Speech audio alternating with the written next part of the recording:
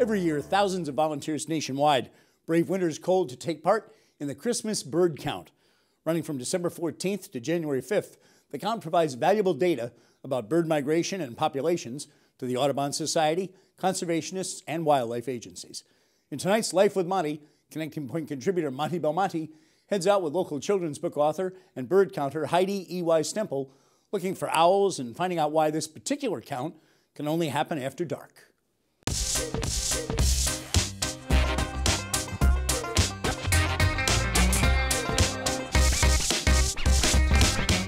We're at the Hatfield home of Heidi E.Y. Stemple, who may be somebody you know from children's books. She's a children's book author.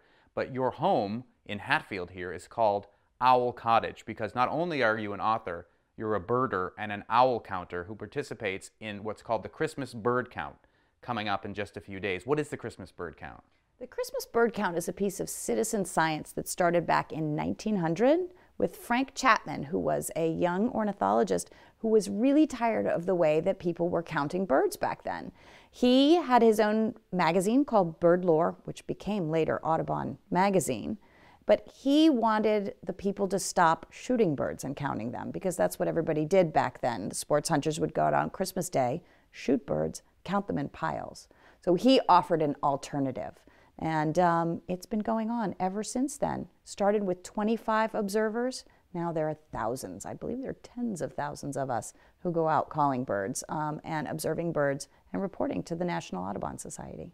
And now, Heidi, this is something that you've been involved with because your dad was big into the owl count, and uh, your mother is Jane Yolen, who lives right over there on Phoenix Farm. It's all on the same farm. We have two houses on one on one big farm. And she wrote this very famous book, Owl Moon, that won the Caldecott.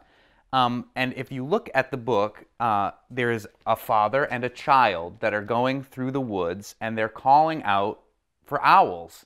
This is the Christmas bird count, and you are that little child, right? Right. It's not actually a book about the Christmas bird count, but it's a very much a family story of, uh, about my family of little Heidi and David Stemple, my dad, who was actually ran the computer science department at UMass, so mm-hmm. local guy.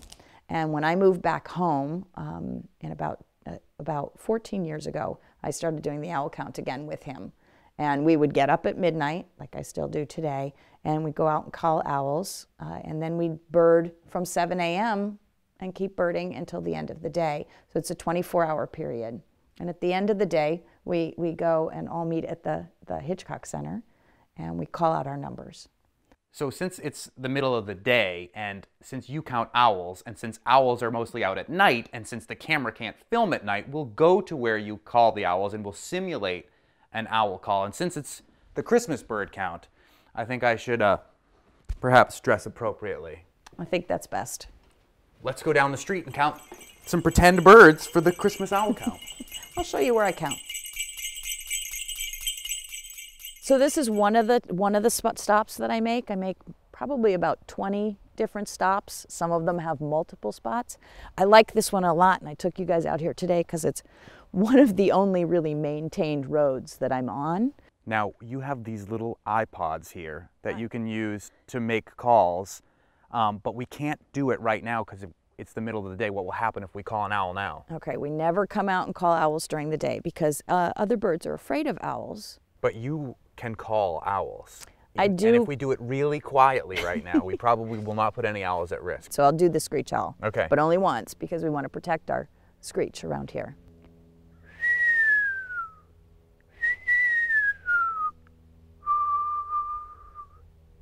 So, so it they, sounds like somebody who's really chilly doing a cat call inappropriately. A little bit. They call it a whinny. It sounds a little bit like the whinny of a horse. And when I talk to school groups, I always ask the kids, I said, now, has anybody ever heard that? And a lot of kids kind of put their hand up because they have heard it. You, it, um, we often hear it uh, on my back porch in the spring at night um, when we're just finishing up dinner. You know how everybody eats on the back porch in New England in the spring. You'll often hear those, but a lot of people don't know that it's an owl.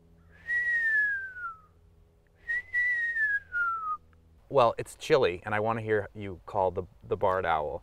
So let's go back to your house. Done. We okay. can do that. We're back at Owl Cottage. Amazing. And now we can safely call owls. Can we see how the MP3 player works? We absolutely can. And these were your dad's binoculars, by the way, right? They are. Those are my dad's binoculars. So I always carry them with me for luck. Now, this is the iPod that I was showing you before, and these are the calls.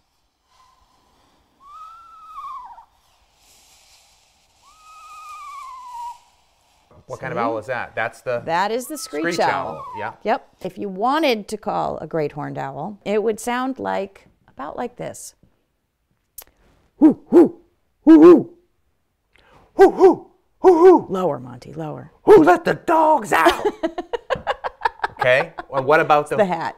Who who who? So, okay, who cooks for you? Who Oh, yeah. cooks for you all? And that's a little bit higher.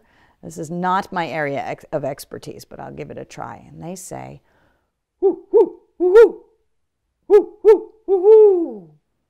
So, who cooks for you? Who cooks for you all? I love it, Heidi. Yeah. Um, we started out talking about Owl Moon, the book that your mother wrote, that includes your dad and you out Mm-hmm. hooting for owls. You and your mother are uh, have written a new book about birds as well. Yes, this is our newest book, and it's called You Nest Here with Me. And of course, it's a natural progression because we do love birds. And it is a book, uh, it's a going to bed book. It's a cozy book. It's a book that you want to read to your kids at night. When is the Christmas bird count?